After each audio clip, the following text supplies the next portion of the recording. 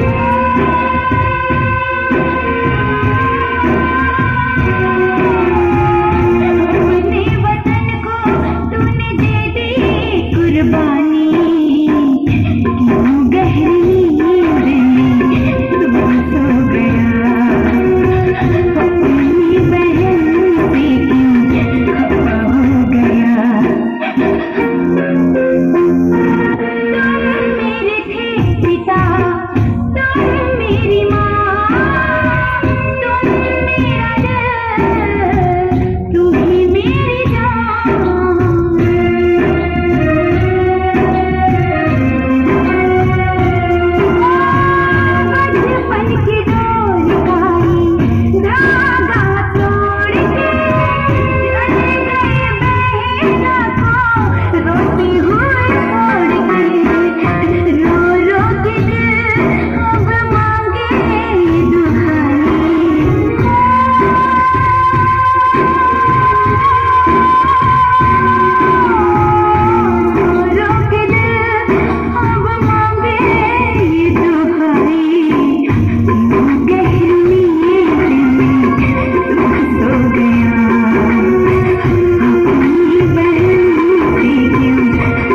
Thank you.